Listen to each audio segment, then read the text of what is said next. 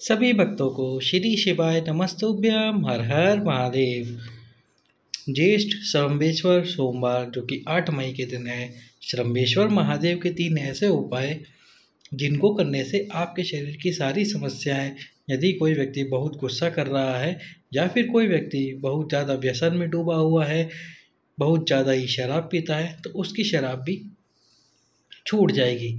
तो श्रम्भेश्वर महादेव का सबसे पहला उपाय यदि आपके शरीर में कोई समस्या है, किडनी, लीवर से संबंधित कोई समस्या है या फिर डायलिसिस चल रहा है तो आपको क्या करना होगा? 108 कमलगट्टे की जो माला आती है, उस माला को लेना है और इस माला को भगवान शंकर के शिवलिंग पर समर्पित कर देना है।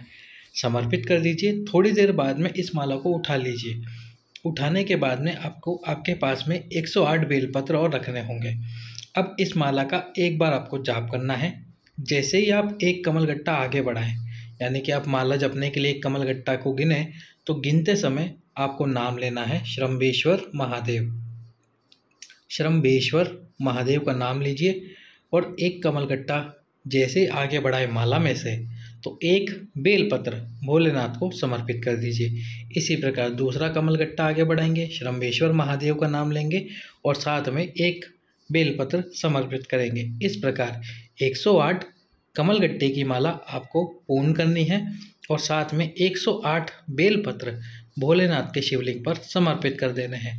अब उसके बाद में थोड़ा सा जल भगवान शंकर के शिवलिंग पे समर्पित कीजिए।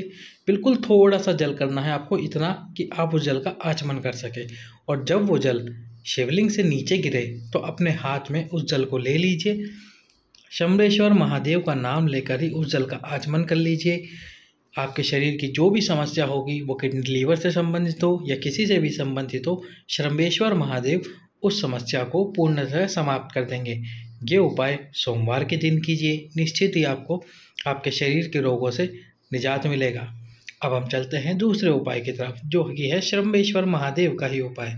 यदि घर में कोई व्यक्ति बहुत ज़्यादा ही चिड़चिड़ कर रहा हो लड़ाई कर रहा हो, बहुत ज़्यादा ही कुछ गलत बोल रहा हो तो श्रम्भेश्वर महादेव का नाम लेकर एक गिलास जल, एक गिलास जल भरिए और श्रम्भेश्वर महादेव का नाम लेकर वो एक गिलास जल उस व्यक्ति को पकड़ा दीजिए।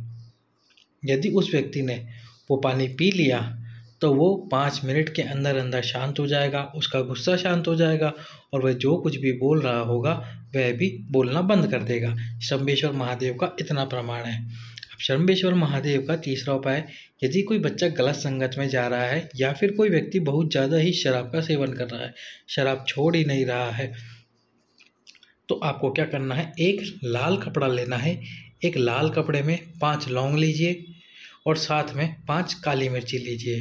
पाँच लौंग और पाँच काली मिर्ची लेकर एक लाल कपड़े में बाँध लीजिए और इनको सोमवार के दिन बालाजी के मंदिर में, जो कि हनुमान जी का मंदिर हो, उस मंदिर के अंदर हनुमान जी के सम्मुख में रख दीजिए। अगले दिन इस पाँच काली मिर्च और पाँच लौंग को ले आइए। ढाई सौ ग्राम पानी में इनको उबाल लीजिए। थोड़ी देर उबालना है आपको, पाँच से दस मिनट, और उसके बाद उस पानी को ठंडा हो जाने के बाद में थोड़ा थोड़ा पानी जो व्यक्ति शराब का सेवन करता है, जो बच्चा गलत संगत पर जा रहा है, उसके खाने में मिला कर देना प्रारंभ कर दीजिए श्रम्भेश्वर महादेव के नाम से। निश्चित ही श्रम्भेश्वर महादेव, यदि वो व्यक्ति शराब पीता है तो उसकी शराब छुड़वा देंगे, शराब से दूर भागने लग जाएगा, और यदि कोई बच्चा गलत संगति पे जा रहा है तो वह सही संगति पर आ जाएगा। शंभेश्वर महादेव का इतना प्रमाण है। शंभेश्वर महादेव के ये तीन उपाय अवश्य कीजिए। सभी भक्तों को श्री शिवाय नमस्तुभ्यम।